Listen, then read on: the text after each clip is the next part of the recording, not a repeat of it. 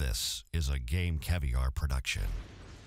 Ah, a while back I did a video about the game uh, that was in its beta stage and I ended up being a part of it and I gave my beta review but this is the whole game this is Arctic Combat a game that you can wow I have no idea why I didn't kill that dude right there but this game you can download this game off of Steam and it's free to play Okay, you unlock things through playing or you can buy credits. It's your typical free-to-play game. This game has a lot of similarities to Call of Duty, of course, and I think that it honestly it tries to be too much like Call of Duty. The spawn system in this game is pretty terrible, but it's kind of hard to, to really put a finger on whether it's the spawn system in the game itself or each server that you join.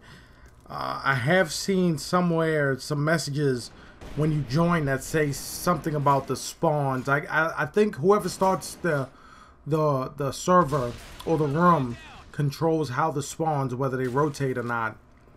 I know when you first spawn, this is something I wish Call of Duty did. You have a certain number of seconds to where you're invin invincible.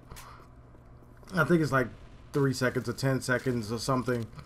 And uh, as you can see, the graphics are about subpars what you would find in Call of Duty. Of course, they're not going to be that great like a uh, Battlefield or something like that because this is a free-for-all game.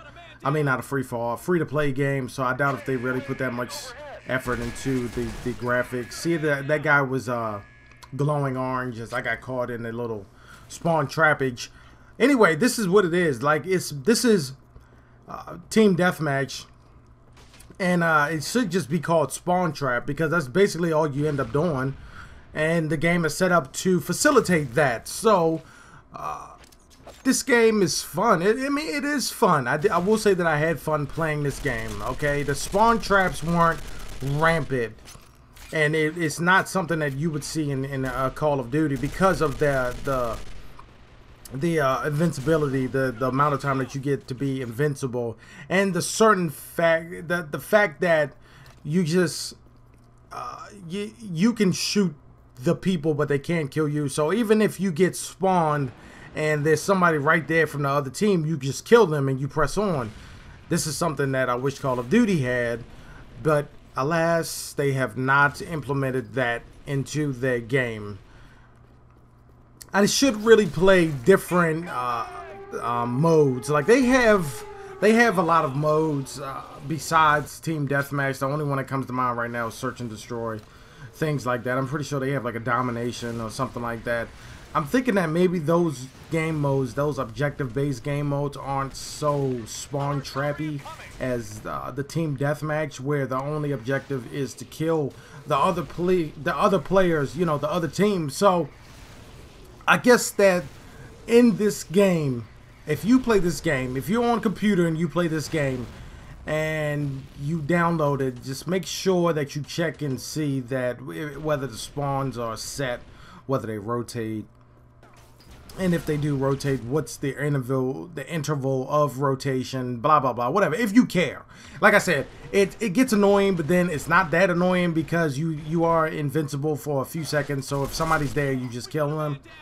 Uh, I also think that this game can uh, actually be a pretty good online shooter. It's free to play. Anybody can get on and play as long as you have a PC that can play the game and you have Steam, of course so you can get on and you can have a good time playing this game. I mean, it doesn't take much. If you've played any first-person shooter online, then you can pick up and play this game. This isn't something that has a steep learning curve. This isn't like, you know, Flight Simulator or some shit. You know, this is just, a, you know, you have a gun, you on, on the team, you kill the other team, and then you press on. And this isn't like Combat Arms to where it's hacked all the shit. Like, they have... Uh, like, I got really lucky right here. But they have measures set in place to prevent people from hacking.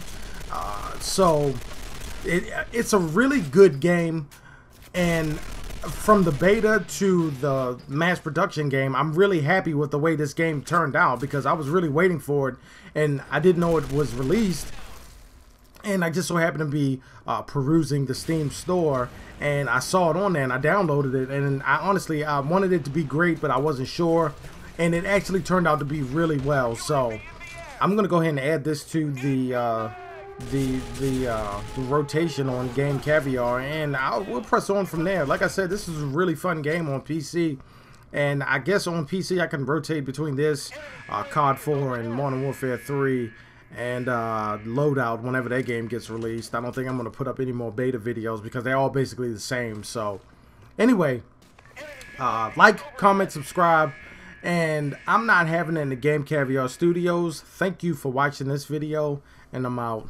This has been a Game Caviar production. Like this video and subscribe for more.